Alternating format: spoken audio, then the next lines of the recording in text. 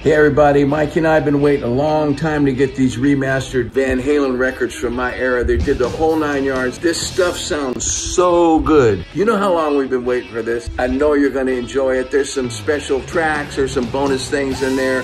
There's gonna be a box set. I can't wait to get the real thing in my hands. It's the whole Van Hagar era, all remastered.